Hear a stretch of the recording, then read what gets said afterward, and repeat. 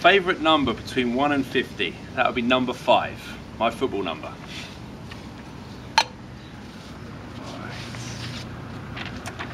Who was your first golf teacher? It was a guy called James Williams, who was a director of golf at the Emirates Golf Club.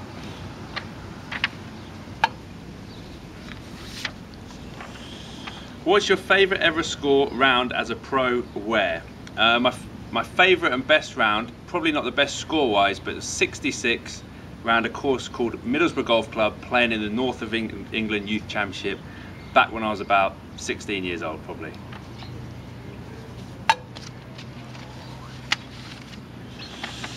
In three words, how would you describe golf in the UAE?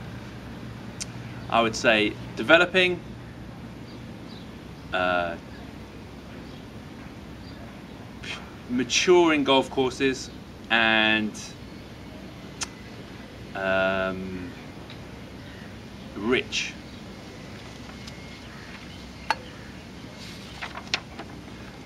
What clubs do you use in your bag? I use Mizuno irons, uh, the MP60s, and I've got Callaway uh, X driver and three wood, and I'm currently using a Black Series Odyssey putter.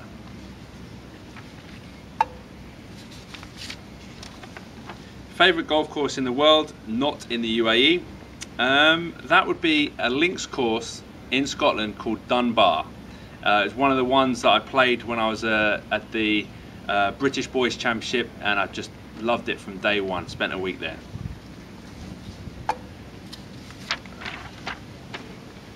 What's your best ever score round where?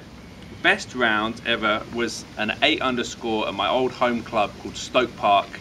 Uh, it was formerly called Stoke Poges Golf Club and I was probably 18 years old at the time.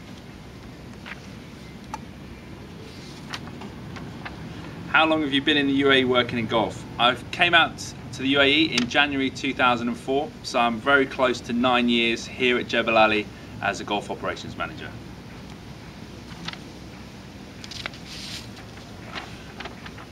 If you could play a round of golf with any golfer past or present, who would it be?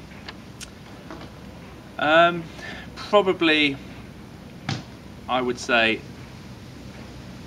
Nick Faldo. A, because he's English, he was a bit of an idol of mine as a boy, uh, and because he's been so successful as a British golfer.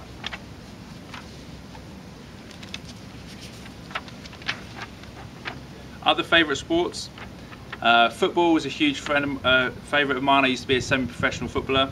Uh, but generally I play a lot of sports. Tennis, uh, rugby I've played in the past, a bit of cricket. Uh, so generally all sports, but football my favourite apart from golf.